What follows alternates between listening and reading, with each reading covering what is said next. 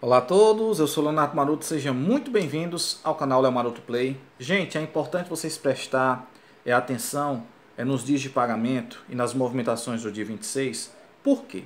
Porque vai ter a adição de um benefício é, municipal e a gente vai trazer as informações de pagamento dele também.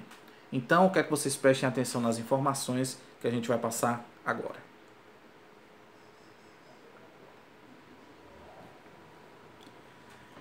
Então, gente, é o seguinte.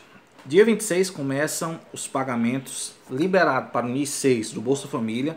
Você que é do Bolsa Família, você vai poder fazer o saque, você vai poder transferir, pagar contas ou comprar é, sem precisar sair de casa. Através, o saque você pode ir na Caixa Econômica Federal, você pode ir numa lotérica da Caixa se você precisar ter o dinheiro em mãos. Se você não quiser sair de casa ou não puder, através do aplicativo Caixa Tem, você faz as movimentações que você desejar. Você pode fazer a transferência, você pode fazer é, comprar usando o débito, ou então você pode pagar contas.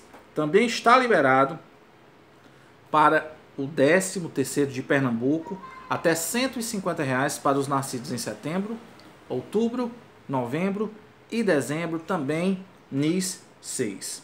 Uma coisa que fique clara, tá certo?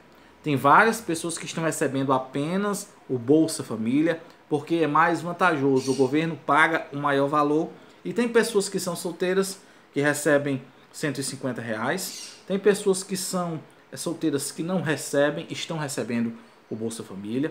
As famílias, tem pessoas que estão recebendo 250, tem família que recebe mais, está recebendo bolsa. Os pais, as mães solos, a família monoparental tem pessoas que estão recebendo 375, mas tem família monoparental que recebe mais que esse valor e por isso que tem muita gente recebendo o Bolsa Família. E para finalizar, gente, o renda básica, ele começa a ser pago nesse dia 26, liberado para o NIS 1. Se você tiver alguma dúvida, você deixe nos comentários que assim que for possível eu vou te responder passar mais uma vez para vocês não se perderem. Dia 26 de abril, liberado NIS 6, liberado também para os beneficiários de Pernambuco, o 13º, e para o renda básica na cidade de São Paulo, liberado também 100 ou 200 reais para os beneficiários de NIS 1. Peço para você deixar o seu gostei, compartilhar o vídeo e se inscrever no canal se vocês não forem inscritos. Até a próxima.